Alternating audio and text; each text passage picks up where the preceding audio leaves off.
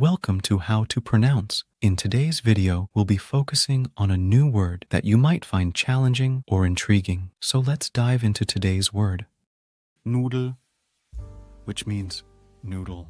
Let's say it all together. Nudel. One more time. Nudel.